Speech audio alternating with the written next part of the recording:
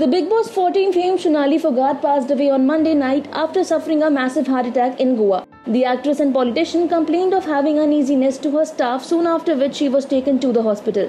While it is reported that the post-mortem is underway and the police officials have also arrived at the hospital.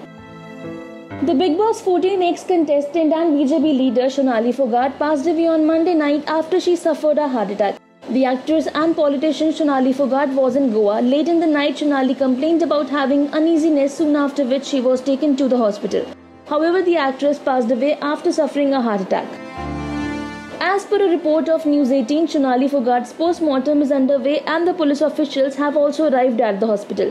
While Nikki Tamboli, who was often seen accompanying Sonali during the television show Bigg Boss, was seen remembering the late actress. Remembering Sonali, Nikki Tamboli shared a short video. Sharing the video, Nikki wrote, Life is so unpredictable. Rest in peace, Sonali ji. In the video, the two could be seen dancing together. Apart from Nikki Tamboli, Himanshi Khurana also remembered the former Bigg Boss 14 contestant.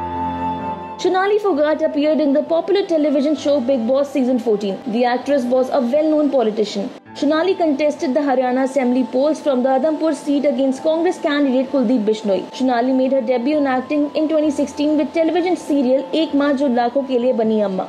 On the personal front, Sonali Phogat's husband Sanjay Phogat passed away in the year 2016. Apparently, her husband was found dead inside the farmhouse. Sonali is survived by her daughter Yashodhara Phogat, with whom she is very close to.